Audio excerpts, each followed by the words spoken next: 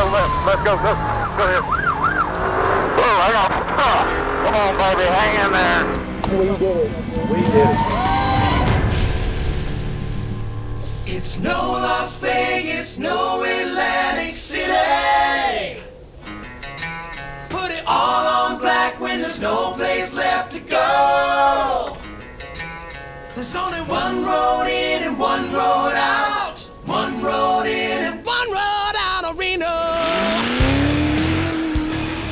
Welcome to the Red Bull starting line, where over 330 race teams have lined up to tackle the Nevada desert. One road in and one road out. Gonna bury my sin in this desert town.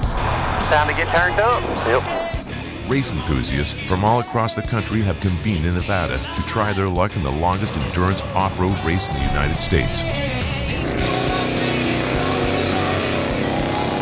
A rough and rowdy high-speed chase from Las Vegas to Reno, Nevada. one road out of Reno. When you challenge the Nevada desert, it's no easy task, Oh, watch out. Don't smash out on that.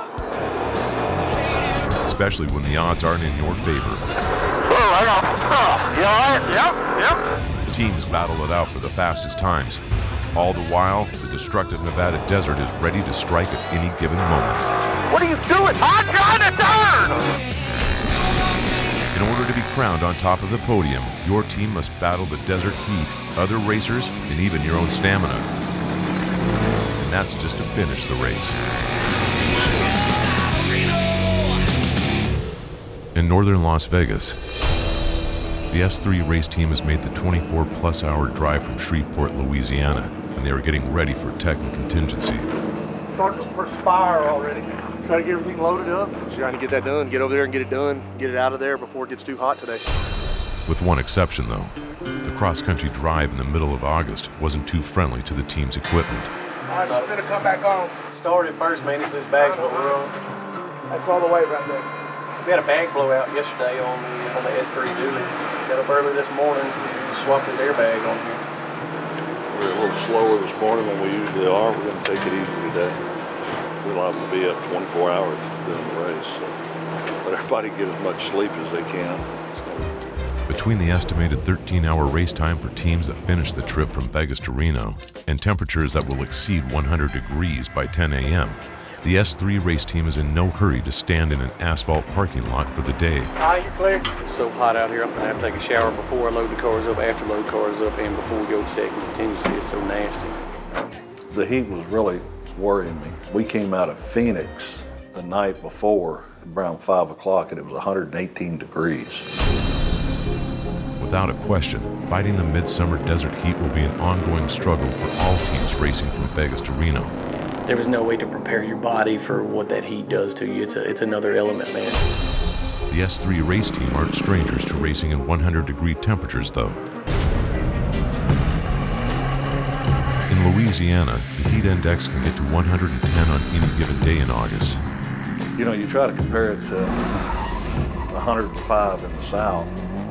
It's totally different heat. It's a dry heat. You always try to prepare your mind for, for what the heat's going to be like, but there's no way you can prepare your body for what you're about to go through. There's still one question that remains unanswered. What's harder on you and your side by side? Getting broiled or getting baked? They just uh, came over the radio uh, here in Las Vegas and said they just set a world record. It's 250,000 degrees out here. Three quarters of the way through the best in the desert race season, the S3 race team have made a splash in their inaugural year with their freshly built Can-Am Maverick turbos. We've come a long way. You know, I don't think we're the joke from Louisiana anymore. What's up, Sebastian? Going through vehicle tech and contingency gives the team a chance to compare notes with other teams and catch up on the latest news. very tight. We're all like family, and we take care of each other and help each other out when we need it. Fellow Can-Am factory racer Corey Sappington, who pioneered side-by-side racing in the desert, knows how strong the community is, and Corey has found a unique way to honor an old friend. So this year at the Vegas to Reno race, uh, I'll be spreading the ashes of Bill Morrison, who is a UTV racer that passed away recently. He's in this little case here, and then right when the race starts, we'll attach it to the car, and then it'll just shake out as we uh, go through the bumps and the whoops of uh, the race course. The The side by side community is an ever expanding endeavor. It's the fastest growing class in the Best of the Desert Race Series. And what's so important to me is that I race against the best. And I like racing that way. I want to race against trophy trucks when we come out here because I just want to, we want to pit ourselves against the best. Best in the Desert also offers opportunities for motorcycles and ATV enthusiasts to have the chance to compete in the country's longest off road race. Pretty pumped, just trying to relax and, and hydrate and take it all in. It's a little crazy around here, but uh, a lot of fun. And The S3 racing team has decided to branch out. They have grown their desert race team to now two Can Am Maverick Turbos and one Can Am Renegade. Experienced ATV racer Chris Robinson is at the helm, and he's ready to try to Ironman the 545 mile race. I've raced it a couple times, team races, and my longest section was about 220. So this will be a 545 will be a little bit of a challenge, but I think we'll be all right. One word to describe this race would be marathon. Going from mud racing in the south to desert racing in the west has been a bit of a transition for the S3 race team. What you want, where you want our hands. Sometimes we just don't know what to do with them. Then having a win at the prestigious Mint 400 under their belt, new doors have opened up for the team. Uh, we're doing a photo shoot for UTV Sports Magazine. Um, checking out this awesome car from S3 Racing. This is prior to the snap, and this is at the snap. Prior, after, prior, after. Even if it's a bit awkward, Yeah. Having a good time, man. Getting to, getting to do some fun stuff. It's, it goes along with uh, winning a race, I guess. First time it's ever happened to us, so it's, it's exciting. after making the 20 plus hour drive to Phoenix, the S3 race team are starting to go a little stir crazy, and they are ready to have some fun. Hey, we're going to the go-kart show. What? Let's go. Let's go racing, man. Where did that come from? I got the power mullet. It's sprouted, man. You Dude, start I'm not gonna lie, talking about winning. It does look real. Heck yeah. We brought the whole crew up here. They're all acting up. They've been in the trucks for 30 something hours. It's the power of the mullet. It's not just it's not a hairstyle. It's a lifestyle, brother. So we show up and it's usually a little imposing, a little overwhelming. Come on, bring your mother over here. That's never gonna happen. it's pretty funny. Great sense of humor. This is freaking out. I don't think they knew what to expect when they brought this in, us in this place. And finally letting us out, it's like letting a wild animal out the zoo. They go crazy when it's that time. With having the first taste of the glamour side of desert racing, comes the realization of the S3 race team's impact on the sport. It's humbling to see people actually follow us because we're a bunch of country boys. You know, that's all we are, is a bunch of nobodies. Everybody's been really nice to us and really helpful and really cordial, but we're trying to find our place in the in the race community out there. We do it because we love it, and that's the only reason. And when we see people kind of uh, follow us and support us, it is the most humbling feeling in the world. Just outside of Beatty, Nevada, the S3 race team have made it to the start line, and they are getting ready for tomorrow's grueling 545 mile race. Oh, this is nice. I didn't know what to expect. Beautiful mountains, and the start line is just right out the entrance here. After a long day at vehicle tech and contingency, the S3 race team is eager to load the chase trucks and get the opportunity for a good night's rest before the motorcycles and ATVs take off at 5 in the morning. Look, the, this thing doesn't lock. It just likes to hang right here. So you just got to hit it sometimes. Matter of fact, what? You get that right there? Yes. Man, we've been game planning. We've been trying to set tools out and, and pre-package all of our tool kits and all that stuff, so we're prepared for whenever something does happen. Like every desert race so far in the season, the S3 Racing Pit crew is on a volunteer basis, which means new faces every race. They're good. I mean, they all been around UTVs, raced UTVs. They can work on the cars, you know. We're chasing 95, okay? The trucks can only hit one pit past 10. Um, I can tell that they're nervous, but they're they're excited, they're driven, they're ready to do this, and that's what kind of people that we that we try to bring with us. People that are pumped up about what they're about to get to do and the experience that they're about to have. So it's a good thing.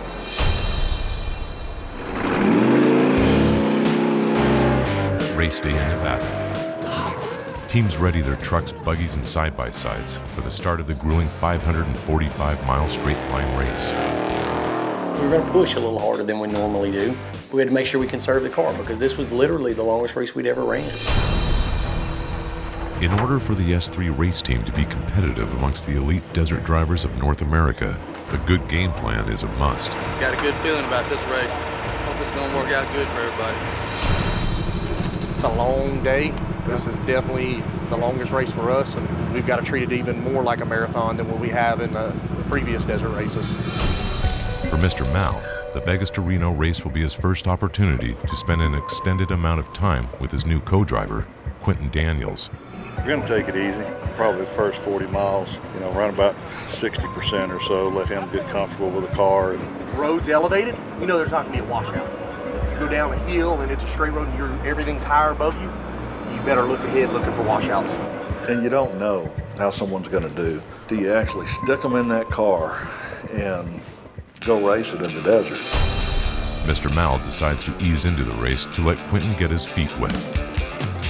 Dustin and Shane, on the other hand, start 38th off the line with one thing on their minds. My game plan was to run fast, really keep a consistent pace, and just make a run for the front. To get to the front of their field, Dustin and Shane must successfully pass 37 of the best UTV endurance racers in the country. And then hope that they don't push their Can-Am Maverick Turbo past its breaking point. Remember, race our race. Um, we did well at the Mint. I think a lot of people chalk that up as a fluke, as us getting lucky.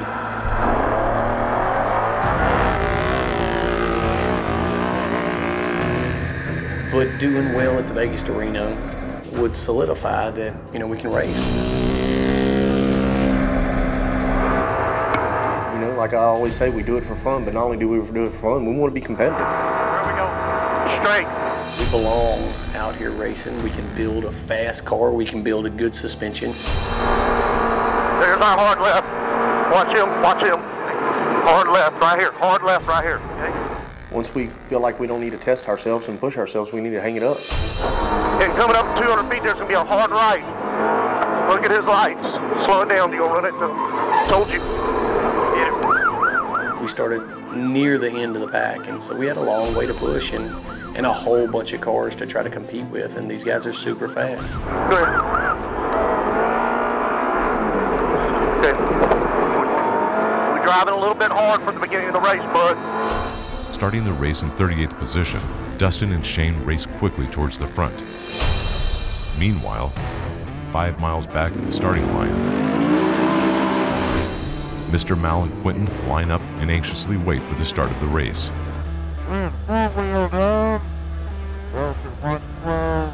Biggest challenge Vegas to Reno is going to be keep the car in one piece. You make one blunder and tear something off, you're out of the race.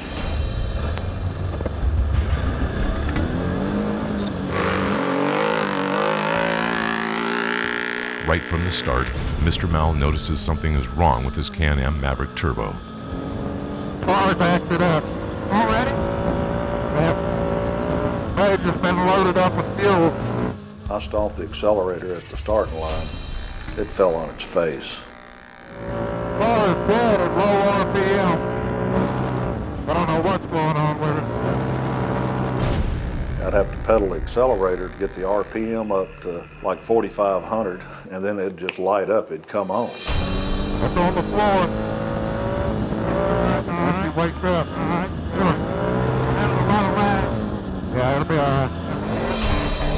Even though Mr. Mal's Can-Am Maverick Turbo is slow to accelerate, it still hits top speeds.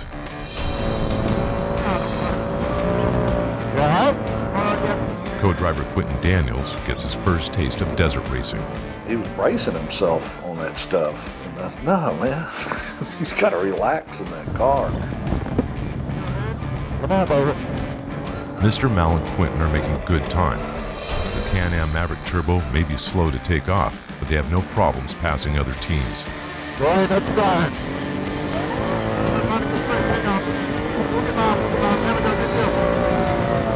They are finding their rhythm and enjoying the ride. Eight miles ahead, Dustin and Shane's game plan works flawlessly as they move towards the front of the pack. Okay, you just dust, get up on him. Keep on going straight. Follow his lights. Okay, pass to the left. Be hard left, hard left. Shut her down. But with a hard push in their Can-Am Maverick Turbo and miserable August heat, Dustin and Shane risk overheating their motor.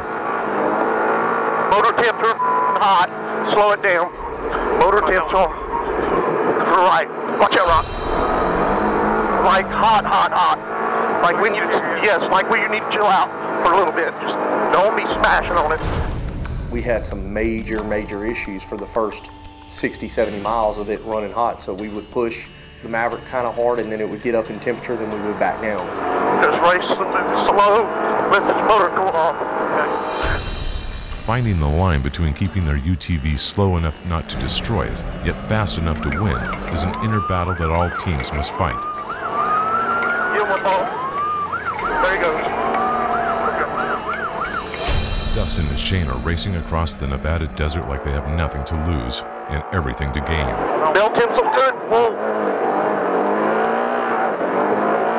The question is, will their strategy work? Mr. Mal and Quentin are racing steady and keeping a great pace. Alright, take a little belt. right, right. Despite the low RPM issue, Mr. Mal and Quentin head to the front of their class. Yeah, there we go. Alright. What's too bad, what's too bad? In order to take the top position, they face two obstacles. Competing with other teams and contending with brutal silt beds left from the trophy trucks and buggies. Hold on.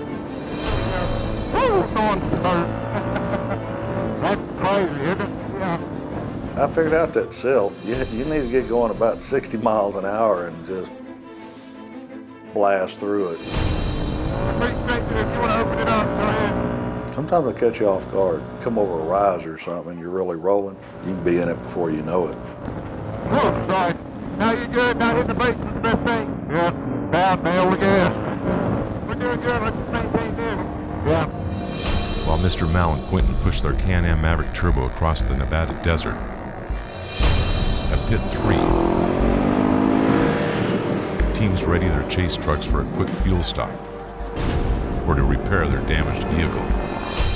The S3 pit crew patiently waits for both Can-Am Maverick turbos. Having a good day so far. Hope it holds out. Waiting for uh, both teams. They're running about eight, ten minutes apart. And so far, both cars are doing well. Mal's uh, leading his group. Dustin's made up a pass by over half the field so far in the first 90 miles of the race. We're waiting for him. The chase crew faces the challenge of getting both cars in and out of the pit without any hiccups and as fast as possible. We're about 50 yards from the stop sign. Do we need gas? Top us off. Top us off. Get somebody get a gas can in their hand. Hey, dump water on that radiator. Hey, water on the radiator, please.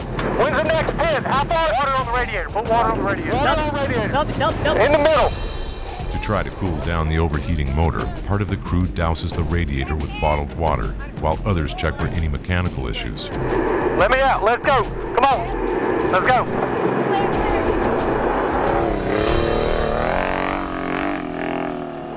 Dustin and Shane are out on the move again without any issues. We gotta go to pit four. We gotta get on the pit four. We ain't got time to talk. Go.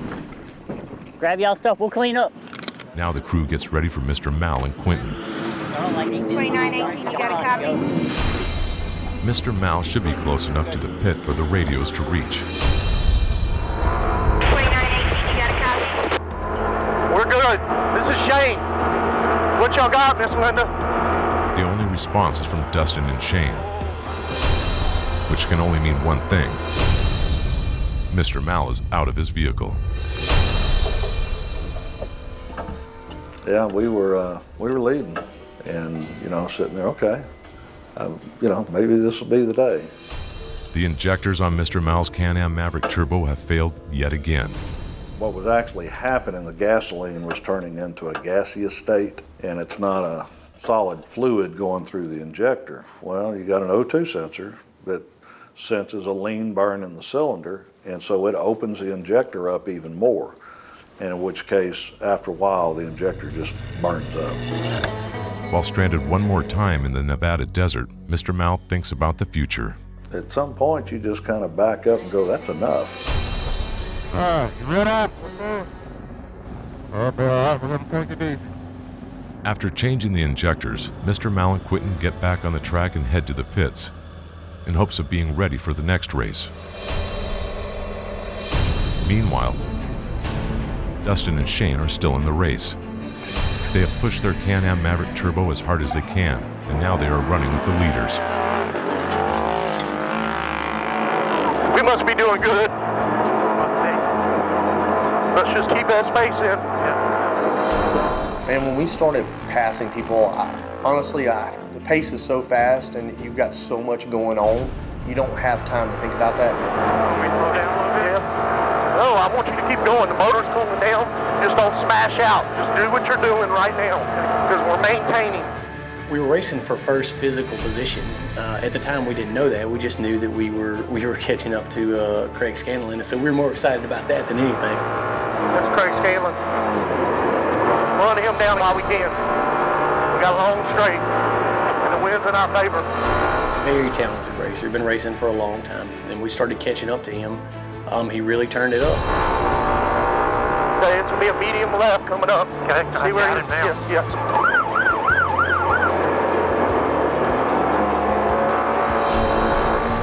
Dustin and Shane just unknowingly moved into first physical position. Get back in the groove. Medium right. Nothing was good. Just drive smart and slow. Okay.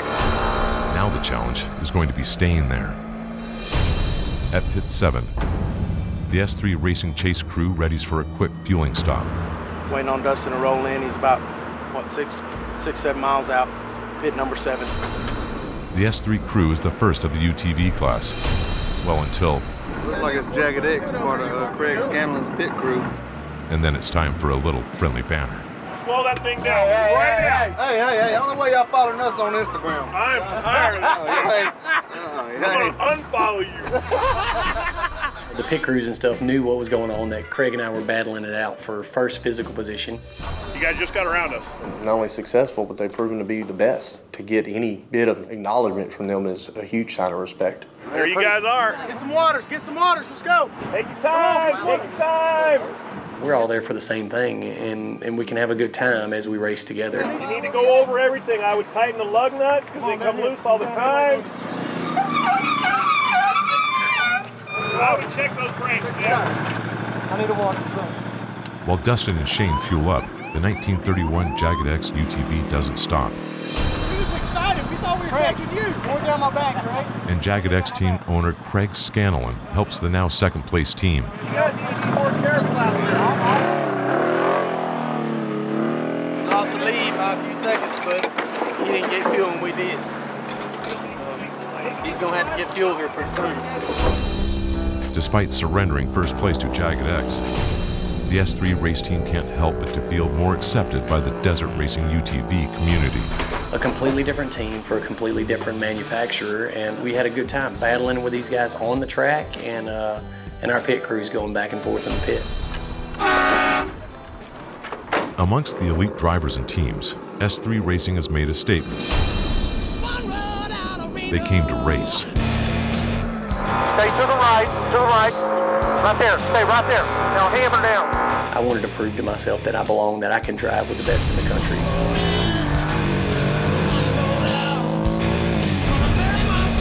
And the only way that you're going to be the best is to beat the best. And so I want to line up with those guys.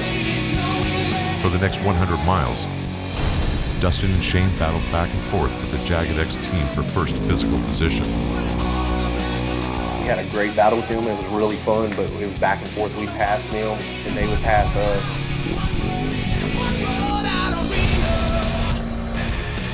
My goal for this race was to make that push just to see if I belong in this caliber of racing. The overwhelming push from both teams put them 20 minutes in front of the field. Whichever team keeps their car together the longest could possibly be able to coast to the finish line. Anybody back there? No, not even close. Shane. And then the Jagged X UTV stops on the track. Look back and see if you see any more UTVs. Dude, we've, we've done good. We just got to bring it home and take it easy now. Yeah. Dustin and Shane take over sole position of first place with just under 200 miles left in the race. You know, we had pushed uh, pushed hard to get up to the front. Uh, we were trying to keep our pace. We need to cut it back just a notch. I'm not saying you're drive fast, but we just need to keep that in our head because we're winning. Okay. So we wanted to race smart. We just wanted to take the take the ride in on home, hopefully not have any issues, and we were we were hoping for a win. With the day turning into evening, a long, hard endurance race goes from grueling to nearly insane. Teams muster what little they have left in the tank and prepare to finish the final leg of the Vegas to Reno race in the dark. For Dustin and Shane, not only is it about winning the race, but also about preservation.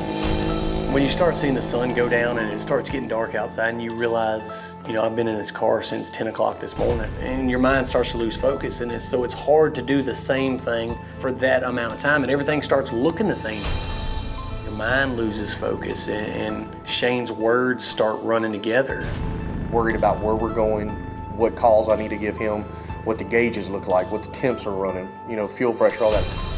It's exhausting, it takes a toll on your body, you lose the focus and um, stuff starts turning into a blur. The stage is set for the last 100 miles of the gut wrenching 545 mile marathon. For Dustin and Shane to pull off a victory, they will have to fight the most brutally challenging part of the course in the dark. They told us at the driver's meeting, they said in between pit 12 and 13 is going to be miserable. There was terrible washouts that would, would claim a car, and so we planned accordingly. Three to four foot deep ditches that were two to three feet wide. I don't know what the crap to do, dude. Yeah, there's no, you're doing what you can do. Oh, there. Good thing we didn't G out. And we go to jump this washout where there just so happens to be a rock that a trophy truck had kicked up on the other side of the washout. What is that? I don't know. Sounds like it's coming from the back. At the time, we, we just kept pushing the car, um, just kept our pace. We didn't know what had happened, but we start hearing some whining noise and it sounded like a bearing failure. We had wishful thinking. We was hoping it was the diff and we were hoping it was other things, but it was the transmission.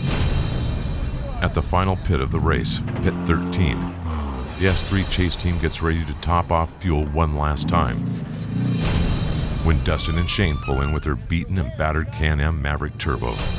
When we pull in the pits and we get out the car and we see that the drain plug is broken off, basically we'd ran for 30 miles with no fluid in the transmission. A perfectly placed rock broke off the transmission drain plug. The question isn't will it lock up, it's just a matter of when. What do you guys need? The Murray Brothers race team offers their spare Maverick transmission to help keep S3 in the race. Let's do this. Help you get there. Dustin wanted to change it. Uh, the Murrays are willing to share one of their spare stock transmissions. And I didn't want to change it. I either wanted to go for the win or nothing. I think, if we, put fresh fluid, fresh fluid, we can make it. Flush it and just back down. Or we can try to plug this hole, top the transmission off with oil, and run the last 50 or 60 miles to the finish line. Hammer and a pry bar. There's the hammer. I wanted to go for a win, and we weren't, we're not chasing points. We're not in the points chase, so it didn't matter to me. All right, I got your Teflon tape right here if you want some. Teflon tape. What do you want me to wrap? It's checkers or wreckers, man. It's, it's time to choose. He said we can fill this thing up and try to make it to the finish line and be heroes. He said, or we may leave us stranded in the middle of the desert and we'd be zeros. Hey, somebody get a ratchet with a 13, please. Found another drain plug, put one in there, threaded in there as best we could because some of the threads were broken off. We filled the transmission up. Justin, start it up. Is this your knife? We weren't going out there to just finish a race. We were going out there to win a race. And so we were going to do what we thought was the best thing to do in order for us to win the race at the end of the day. That was awesome. All right, boys. Now we're going to need a little prayer. Plugged it off and we've refilled the transmission fluid and we got 75 miles to go. We're going to bring it home. They didn't come out here not to. Got them going. They're in the lead. So hopefully it holds together. It's going to be a uh, pins and needle event till they get to the finish. Headed to the finish line. Nobody remembers the losers. Everybody remembers the winners.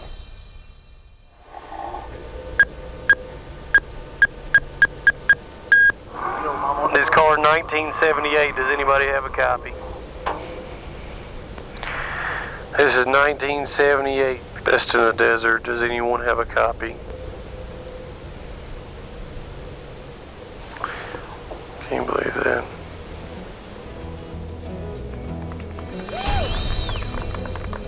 At the finish line, teams trickle in from a long, brutally hard journey across the state of Nevada.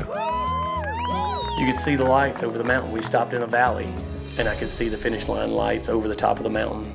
It wasn't good, I'll tell you that. It wasn't the best feeling in the world, but it's racing. You know, you've got to take the good with the bad. 19 miles from the finish line, the transmission locks up. Dustin and Shane are out of the race.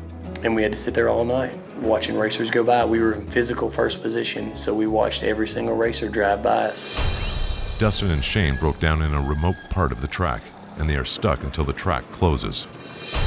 There's no road in or out. Can we go get the guys? No. Casey said no. I was heartbroken for them, and then we couldn't go get them. They had to spend the night in the desert because the race was still going, and there was only one way to get to them, and that was up the racetrack. Forced to wait until the crew can come get them, Dustin and Shane spend the night in the desert. We just drove 12 miles of the race course to come get the guys. And we're about a mile from them right now. I bet they can see us down there. Happy to see us. I would, I would be lying to you if I didn't, told you I didn't shed a little tear that night while we was laying in that cold desert. Back at the starting line, the S3 race team patiently waits for the guys to get back so they can load up and head home. Yeah, I'm proud of what the guys have done. It's a team effort. It's not just a driver. It's not just a co-driver. We woke up this morning on the belt box, temp gauge said 41. It was cold. The, the whole group as a team has come together. We've learned a lot as a group. Ready? Hey, sir. Good run. Thank you. Yeah? I'm sorry. For what? I hate that we had that race sewed up. I hope we made a statement. Oh, yeah. Trust me. You know, even though we didn't win this race, we proved that we not only can be competitive, but we can be a, somebody you have to worry about. I told Shane, man, this morning when we were sitting out in the middle of the desert watching the sun come up, I said, man, you realize we just outran the fastest people in the country? So I wouldn't be hanging my head down. You know what, looking back on it, I don't think I would have changed anything. I wouldn't have swapped that transmission in the pit. I agree with Shane's decision on, on running it. Um, now we gotta uh, get cleaned up, uh, start making a making a drive back home on Sunday, so everybody can go to work on Monday. As the team packs up to head back to Louisiana, they notice that something is a little bit different on their chase truck. Do you see this? Do you know anything about this? Are you serious right now? The Jagged X team left them a little memento to remember the Vegas to Reno battle. Yeah, they're super nice, man. When I reflect back on this race, uh, my focus is not breaking down 19 miles from the finish. It's the camaraderie of our groups, it's the acceptance from the other race teams, it's the hard work all of our guys put in. It. I guess that's one thing that makes S3 Racing, you know, the team that it is. We, we don't give up. It's all positive. It was, uh, it was a great experience and it was a fun race.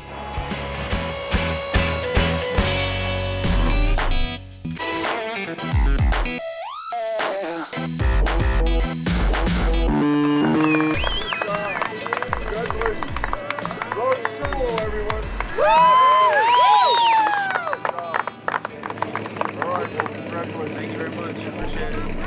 Oh, boy.